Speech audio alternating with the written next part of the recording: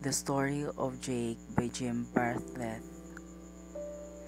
Jake's eyes snap open, and he quickly turns to the side. But like his aching heart,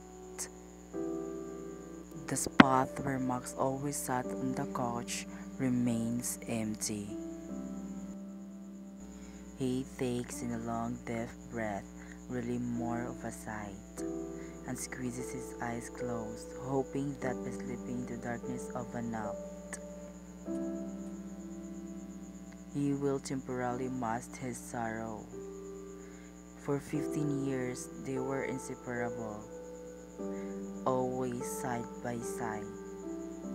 The walks on the beach with the gentle waves calling, the seagulls cawing, all those hikes on the trail where the trees canopied over like arches, wrapping them in a soft cool shade on a hot sunny day. Even just a ride to the grocery store for something Martha may have forgotten. Even just a ride to the grocery store for something Martha may have forgotten. They always went together. Though he knows that in some ways he should be thankful for just having their time together. those moments forever etched in his heart, and that the sickness took Max quickly rather than dragging out the pain for weeks.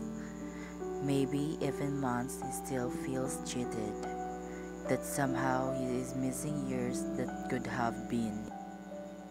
Unable to sleep, he looks around the all too empty room letting his gaze fall upon the leash which still hangs from the peg by the door. It seems to wait patiently, every ready for the next big adventures.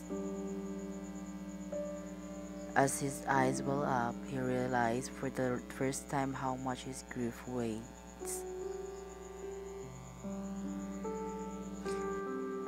How hard it is to even rise with such a heaviness inside. It is then he hears a shuffle from behind and turns to see Martha standing in the doorway, resting against the frame.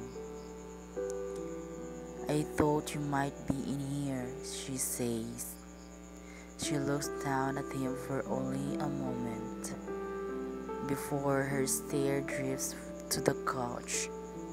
I miss him too, Jake, more than you'll ever know. There is a far melancholy tone to her voice, but he knows that her heart, like his, has a hole too big to feel. He drops and he gives off another long sigh, which seems to prompt her to come over and kneel down onto the carpet beside him.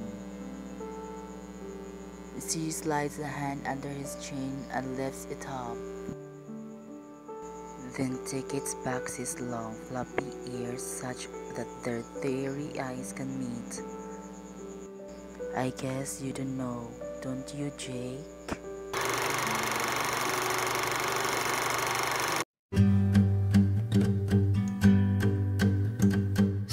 then here in an empty room I saw you.